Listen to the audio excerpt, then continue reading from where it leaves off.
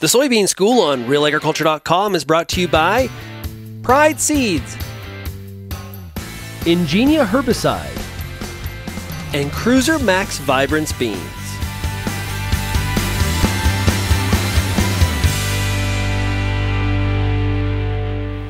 Hi, I'm Bernard Tobin. Welcome to the Soybean School. Today I'm down in Oxford County in a pretty amazing soybean field. It's late June, some tremendous yield potential here. And the big question now is how do we protect that potential? And I'm going to get some answers from my guest, BASF agronomist Ken Currah. We're going to get down in the canopy, we're going to talk white mold, we're going to look for flowers, we're going to talk timing and how we can protect this crop using fungicides.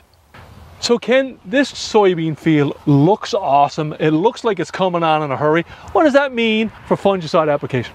Yeah, so this field uh, in particular, let's talk about this one in particular, has a history of fertility.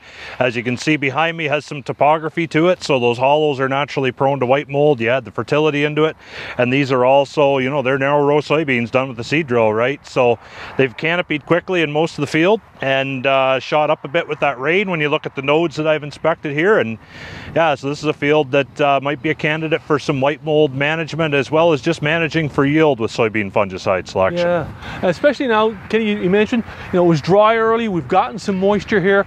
That moisture gets in the canopy. Why do you got to start thinking about now from a white mold perspective? Yeah, and even though we're warm, you know, our studies generally prove that uh, that that that canopy with that moisture in there is running about 8 to 10 degrees cooler than than what we're used to standing here talking above the canopy on a hot day like today. So pretty prime for uh, for disease development in particular white mold depending on the timing of that spore release.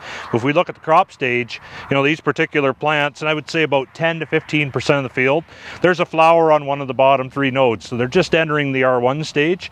So it's time to think about managing them whether it be for white mold or plant health yield management or both in the coming three weeks so that they're in great shape going into that prime pod fill and yield building period the last week of July and through August until they start to senesce and mature.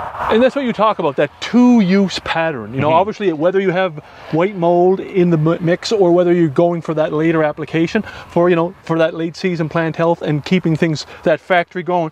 How, you know, talk about, I guess, the strategy between and the timing between the two-use and the single-use. Yeah, so I'm going to start with a white mold program and let's, let's uh, talk about a, a moderate to high risk white mold scenario. So these are fields with a history of white mold, the fertility and topography features, airflow features that I mentioned. Should also think back to 2014 and 2017 crop. 2014 was an awful white mold year and we knew we'd have to manage those fields when they were in soybeans for the next better part of the next decade.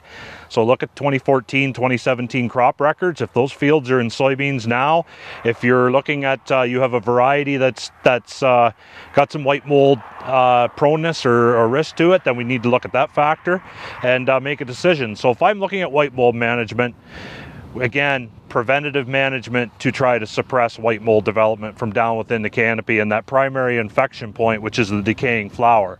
So we're looking at a true white mold product like Cotegra, premixed product of two different white mold effective modes of action, and applying that basically between R1 and R2. I like to be a little bit earlier than later because once it's in there, you're fighting the battle. And then if that risk continues, so humid weather, frequent rains, moisture getting trapped in the canopy, the beans get tall, and rush and lank. And I always defer to the farmer. You know your fields and you know the variety you're growing and your seed dealers, seed suppliers can help you out on the variety aspect if you don't know. And we can identify, do we need to keep managing with a follow-up pass on some of the you know, let's say 1.8 maturity group and later, where they have that longer yield fill window, versus short day soybeans in the central and, and eastern part of the province, where maybe one pass white mold control is good enough. In my territory, I'm looking at two passes. I want the white mold product in at R1 to R2.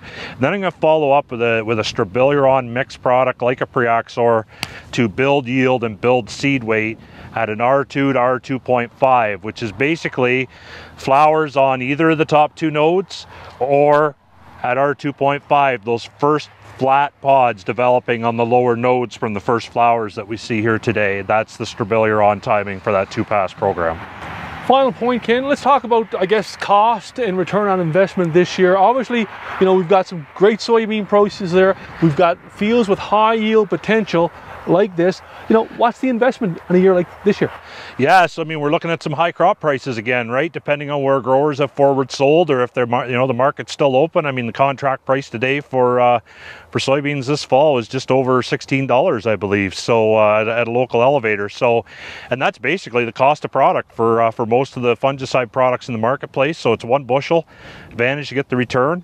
If we look at our own uh, internal data at BASF from from commercial farmers' fields from the Ag Solutions trials we've executed in recent years, we see uh, low white mold risk. We get about a two bushel return from Cotegra. We can be north of six bushels if we're into moderate or high white mold risk. And growers who manage white mold know that it's a pretty devastating disease, and it is a disease of high yields, right? If we look at uh, the Strobilurin products at R2 to R2.5, our long-term trials, over 250 commercial field trial data points over eight years, uh, you know, data is pretty undeniable at about 3.3 to three and a half bushel advantage. So basically, uh, you know, cost of product uh, two pass programs going to be 30 to 40 dollars an acre. One pass is going to be 15 to 20 dollars an acre. So there's some nice returns to be had here for sure. Hey Ken, always great to have you on the Soybean School, sir. Thanks for stopping by. Excellent. Thanks for the opportunity, Bern.